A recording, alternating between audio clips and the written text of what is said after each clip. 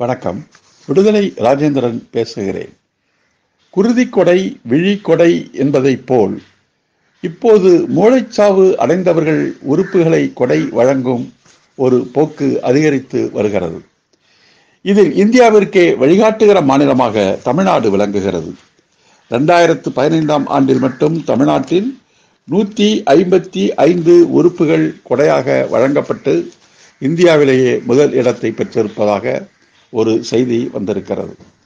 ஏனைய மாநிலங்களில் உறுப்புகள் கொடையாக வழங்குவதில் இருக்கிற தடைக்கு காரணம் அவர்கள் மீது திணிக்கப்பட்ட மத நம்பிக்கைதான்.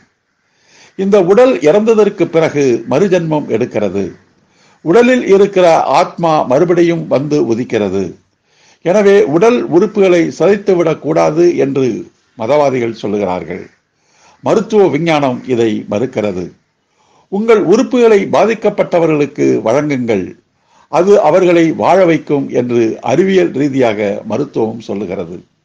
இந்த நிலையில் பம்பாயில் திருபாய் அம்பானி நடத்துகிற ஒரு மருத்துவமனையும் டைம்ஸ் ஆஃப் இந்தியா நாளேடும் சேர்ந்து உறுப்புகள் நன்கொடை திரட்டும் இயக்கம் ஒன்றை தொடங்கி இருக்கிறார்கள். அதில் மத தலைவர்களை அழைத்து அவர்கள் பேச வைத்திருக்கிறார்கள். சில மதத்தின் தலைவர்கள் உறுப்புகளை கொடையாக வழங்குவது மதத்திற்கு எதிரானது அல்ல என்று அவர்கள் பேசுகிறார்கள். இதே கருத்தை பெரியார் இயக்கங்கள் கூறுகிற போது மதத்தை புண்படுத்துகிறார்கள் மதத்திற்கு எதிராக பேசுகிறார்கள் என்று புகார் கூறியார்கள்.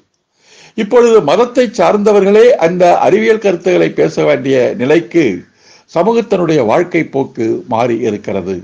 இதுதான் அறிவியலை நோக்கி நாம் நடத்துகிற பயணம். இதைத்தான் திராவிடர் விடுதலை கழகமும் தனது பயணத்தில் சொல்ல இருக்கிறது. ஆதரவு தாருங்கள். நன்றி வணக்கம்.